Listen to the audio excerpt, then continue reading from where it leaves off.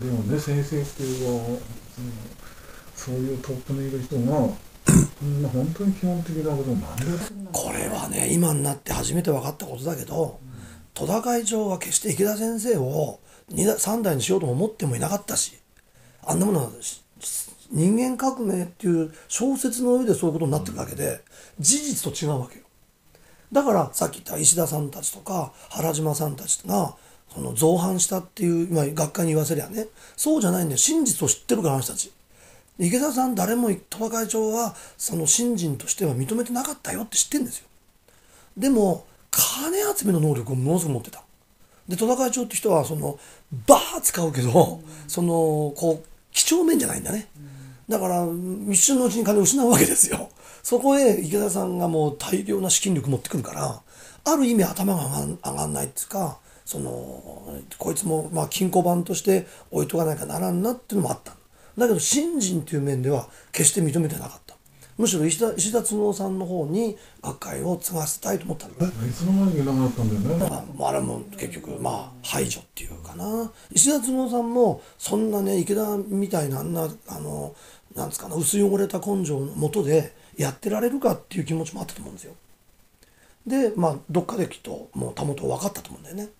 で石田都合さんはだけど池田戸田会長のそのし生前中に結構その肩叩かれたっていい意味でねお前次なんとかならんのか、そしたらやっぱり線が細いわけよ正直。その戸田会長のあの合法来楽なねやっぱりカリスマ性があるしちょっと戸田会長の後継ぐにはとても自分は無理。でどっちかって言ったら学級派だ教学とかそういうのを真剣に勉強してコツコツコツコツやっていくタイプだったから戸田会長もその石田さんがその誇示するもんだから諦めたわけよ。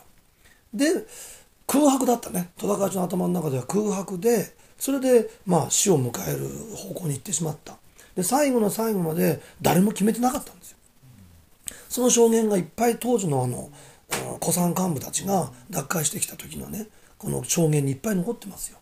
で最後の最後にあの李教坊の2階でねあの死のところに伏せってる時に「おし俺が聞いてくる」っつって辻副会長が、まあ、当時辻青年部長が2階タンタンタン上がってって「会長あの次の会長決めてくださいよ」っつって 死死死のところにいるかに迫ったんだって。そうしたらやっぱりしばらく沈黙してたけどもあのそれはやっぱりお前たちが決めていけばいいんだっていう。これが最後の言葉言葉っていうか組織的にはね。だからその証拠に戸田会長亡くなってすぐ会長決まんなかったじゃないですか。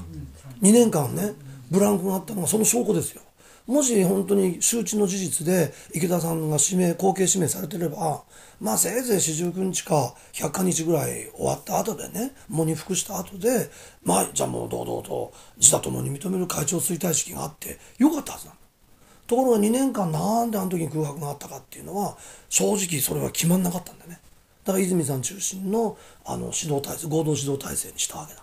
ところが池田先生って人はそのもう剣謀術数では天才的だから、この人の弱みなり飴と鞭がうまい。のねそれ2年間のうちに全く天才だよね。32歳のその若造がその古参幹部たちの全部その裏とかないからみんな握っちゃってでこの飼いならしちゃったわけだよね。そしてしかもあたかもそのみんながこう何度も何度もこう姿を演ずるわけですよ。あのまさにあのなんだあれだよな中国の三個の例。三個の例をねやらせるわけよ。だから1回は「ええ私みたいな若輩は」っつって。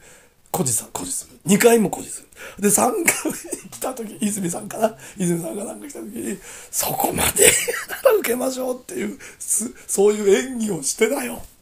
それであの迎え入れられた。みんなの総意のもとに迎え入れられたっていう姿を作って。